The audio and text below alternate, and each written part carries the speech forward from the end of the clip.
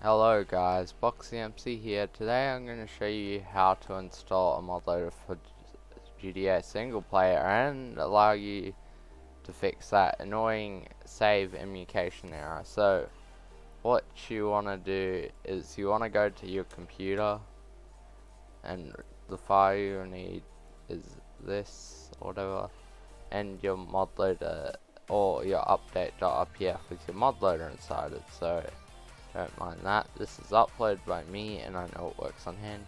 Yes, I've did this video before, but that is quite bad production wise. I don't know how to say it. But just wait for it to download. Open it with like something like 7-zip and ignore the BLUS part. It I've everyone says it doesn't work on BLUS, so this is BLES only and I don't know where to get a BLUS e-boot so I have a hard drive. See as so what you want to do is just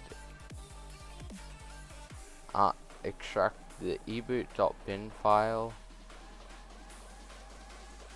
I already had one on there which I'm pretty sure is the same but we'll just do it anyway and you want want to ha have your mod loader, which I'm going to use BoxxyMC v4.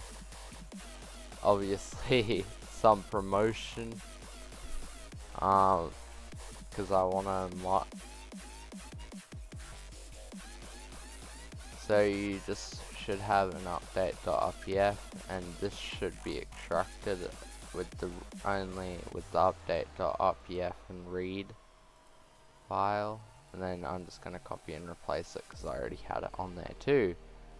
But it's a set but I just wanted to show you. So yeah. And also it if you've used it before that's all fine on the PS3 but if you you go on right click and look at properties and look at that see if it's that 30 if it's not you're gonna have to do the steps. I should have done that before. Now you just want to eject it your USB flash drive or hard drive. As you can see, I'm going to play it in my PS3. Now we're going to go back to the PS3. As you can see, we're going to go open Multiman. And now,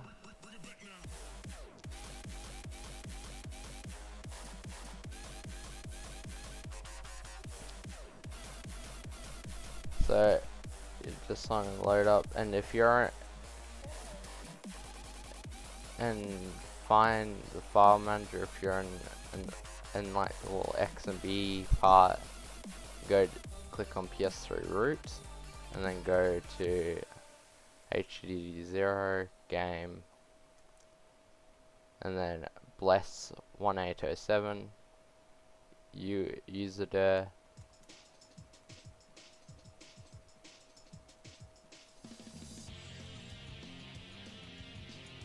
and rename that.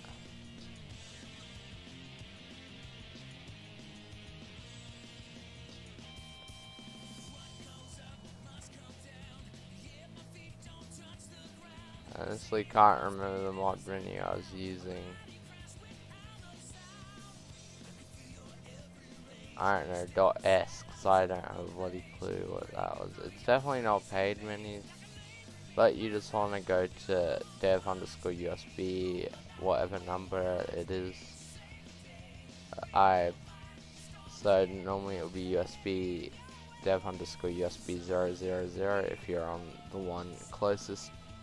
On the right or the left is it's different to all models so I'm not going to explain it but you, you just want to either you just want to make a backup of the eboot.bin by like renaming it to .og or something and also do that with the RPF but I don't care about the RPF thing as I already have it on there. But I'm just so I'm going to copy both of them over. And you're just going to paste it to the game folder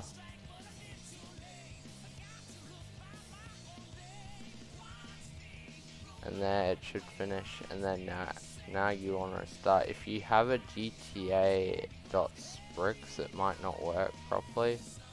So check that go back to dev.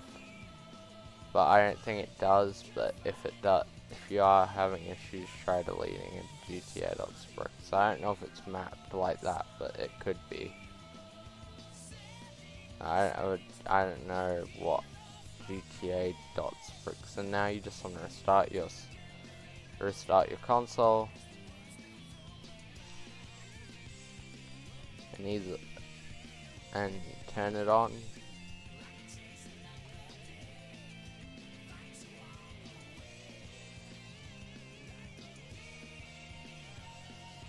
Now you just want to go and either put in your disk or something like that or load it via like multi-man or webman. So I'm just gonna do that. As you can see GTA 5 you'll know uh, if you're using my mod loader I have a custom intro which plays. Instead of the default GTA cutscene which is that. So yeah. I'm just gonna show you it. Actually okay I kinda missed it but yeah you'll know the text is custom to and then you just want to wait for the game to load up. So I'll do that. I don't actually know if I do have a game save, but yeah, I'm hoping I do, but I can't remember. So if you load into a game, or I'll show you, if you're still loading, you're still loading into Prologue with a game save, show you. So I'm just gonna start I'm just to keep loading it up.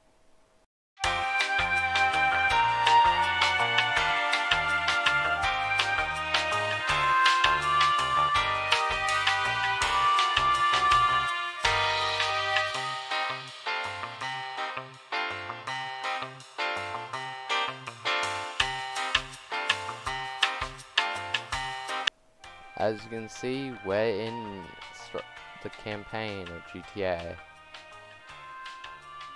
So as you can see if I go to game and then load as you can see that would just say like emulation emulation error.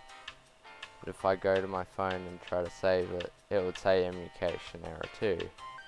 And as you can see we've got mods we've got BoxxyMC v4 you can use any this should work with any mod loader so if you have something like I don't know I'm trying to think of that oh, on that. Like if you use, like James Reborn or something like that, or or like I can't think of any other. Oh my ghosts, this should work.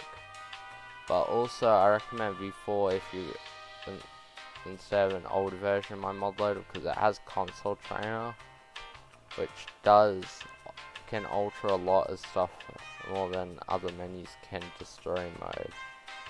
Like you can do stuff like that instead. Instead, like you can disable it so you can't use the pause menu anymore. It's good if you have some weird menu with some weird binds. But you can add. Uh, I'll leave a version maybe. If you guys want that to add scripts and change like the time that's the you're on yeah let let me just go and edit this. Bye